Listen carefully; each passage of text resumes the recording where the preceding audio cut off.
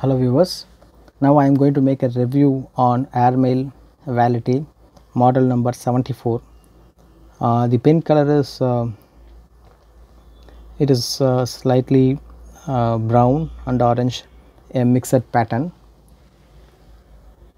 And the trim sets are in silver and the clip is good and it is an eyedropper fountain pen. And you can see a small uh, design is there in the grip area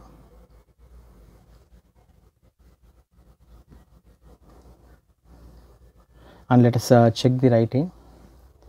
So our favorite ink is uh, again violet. And uh, while ordering just check whether it is for extra i mean fine nib or broad or medium nib. Because one ink cannot uh, cater for all the pens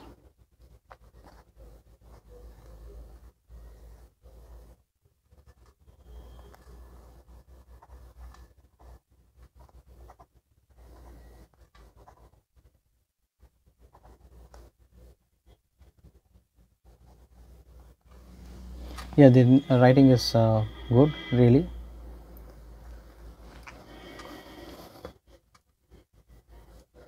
Thanks for watching this video